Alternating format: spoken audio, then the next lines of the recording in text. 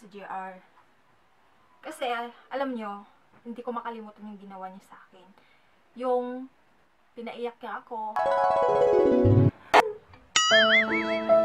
Yung ginawa kong dalgo na nilagyan ng sili. As in, hindi ko talaga makalimutan sabi ko sa sarili ko. Gaganti at giganti ako.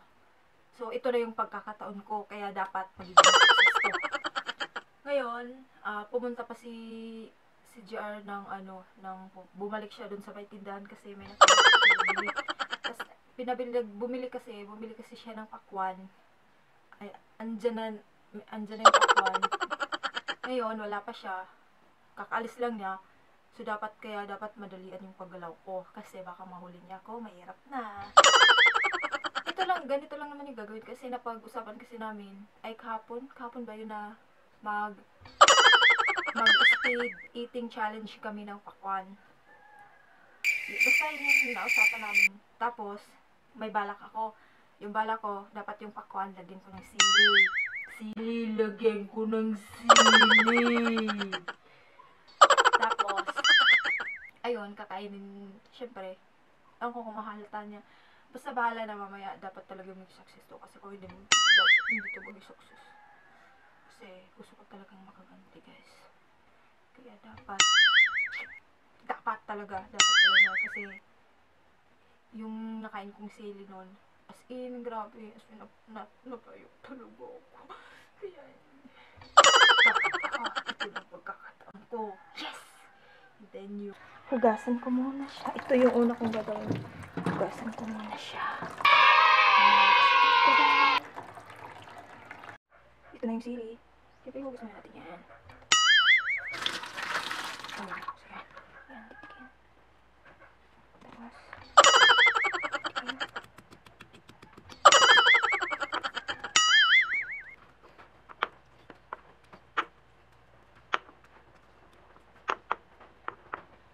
Yun. Ay, meron siya. Sige, sige. Ano, sumakaya hindi ko na siya may video paglagay ko sa pakwan. Kasi, walang kawak na kagay. Mamaya. Ayan. Papalag ko siya, please. Bye-bye. Mag-isulti. Madadon na edo mga soon, it's me Mr. M My name is Elsa. and welcome back to our channel. In today's video, ah magkakaroon tayo ng speed eating challenge which is pabilisan ang kain ng pakwan. Then, may isang piraso dito na nilagyan ng pakwan sa loob. Lalagyan ng pakwan sa sila. Nila, nilagyan ng sili. Ito na naman yung may pakana. At, least alam mo, hindi mo makakain. O kung hindi ko na lang, kung hindi ko inano kanina, ako na naman yung bibiktima. Ah, sige So ayun guys, um, this challenge, swerte yung makakain ng sili. So, umpisahan na natin. Go. Wait lang, One, two, the three. timer start Now, go. now.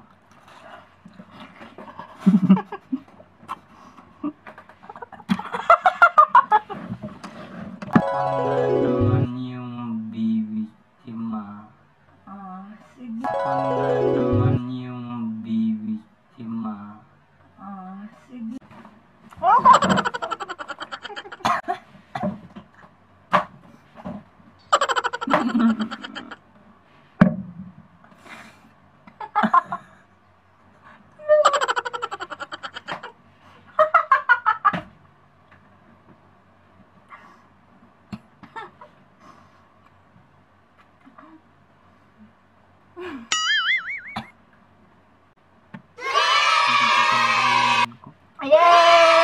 Natandang si rin at kung tawa. Ay!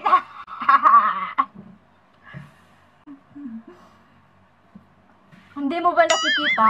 Naana, gaina, naana, naana sa ima atubangan, wa ni mo gitan, amo pag iunan ni gikaon. Imalay ko ba, alam ko Mm. ba? Wala, wala ni mo makita tong nakagawas nga buto sa sili. Mausisa, siya din yung nakakain. Diyos ko. Sarap kaya. Mmm. Ayan po.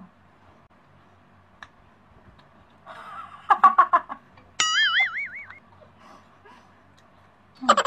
Nakita ko kasi eh. Ayan. Makita ba? Hindi makita yung... Madilim.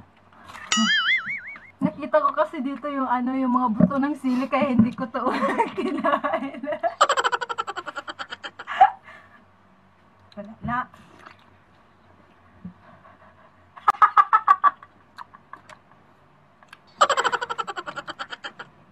Dalawa lang pa yung nilagyan ko.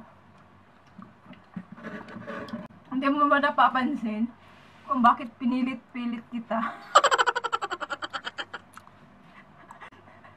Kaya nga pinagpalit ko kanina eh kasi alam ko pag namimili to may ginagawa na namang hindi maganda. Kanina pa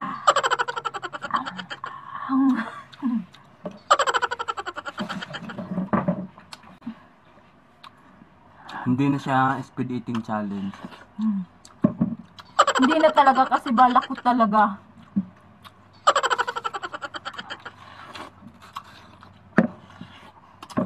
Speed eating challenge prank na naman.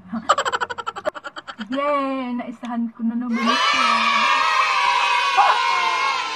Kasi makalimutan yung pinayak niya ako ng sili. Oo. Matalino, Bakit mo garod tatanggalin yan? matalino man ang matching na iisyan. Wala na. Nakain na. Ayun oh. Ayan siya guys. Nakita ko kasi siya kanina. Ano yan? Dinurog ko- mo? Oo. Kaya hindi ko ano, hindi ko kinain. Inuna ko tong maliit. Buti nga hinihintay ko baka magreklamo siya kasi maliit yung kinain ko.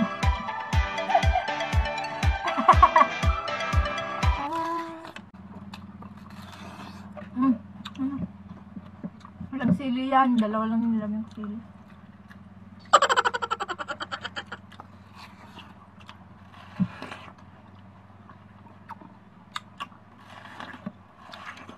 Mm. Kala mo ah. Hmm.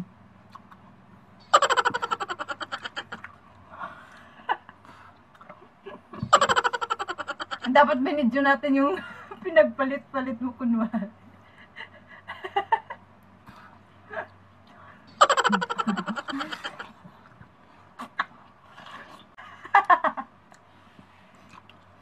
Dami mo naman kakampi. Siyempre, nakikita nila yung ginagawa ko eh.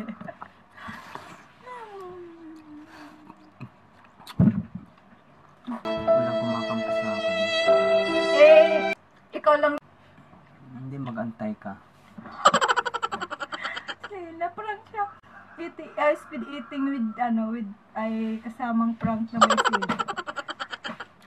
Ano nga yun, speed eating challenge prank. Mm. O paano ba yan guys na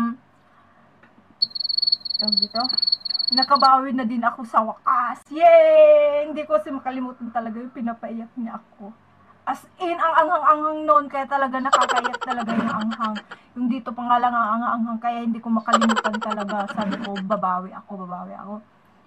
Ay, nakabawi naman ako guys, pero hindi niya nalunok. Hanggang sa bibig lang. So ayun po guys, ah maraming salamat po sa mga nanood, sa mga nagbuhos ng kanilang oras. At sana po huwag niyo kalimutang mag-like and subscribe sa YouTube channel namin. At saka kung sawa na kayo sa mga puro prank challenge na lang, comment down below para Mag-suggest mga- kayo. Oo. sa mga gusto niyo ipagawa sa amin. Ah, magkapatid lang, mag ay magkapatid ah. Halagyan, ano, ano ba dapat lagyan? Hashtag, hindi. Kahit hashtag, ay basta sabihin lang nila yung mga ipapagawa nila. Kaya yan lang. So, ayun po guys, ah, maraming salamat ulit. Bye. Bye.